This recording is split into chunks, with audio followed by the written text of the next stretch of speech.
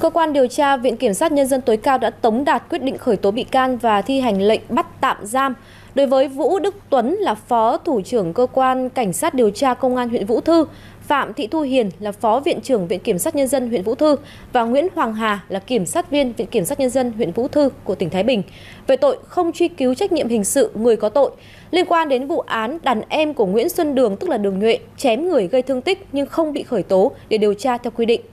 Cụ thể là quá trình điều tra xác định, điều tra viên và cán bộ điều tra cơ quan cảnh sát điều tra công an huyện Vũ Thư đã có hành vi không thực hiện giám định thương tích, không dẫn giải người bị hại đi giám định, thiết lập tài liệu khống, ra quyết định không khởi tố vụ án hình sự để không truy cứu trách nhiệm hình sự đối với đối tượng. Hiện cơ quan điều tra Viện Kiểm sát Nhân dân tối cao đang tiếp tục điều tra, làm rõ hành vi phạm tội để xử lý theo quy định của pháp luật.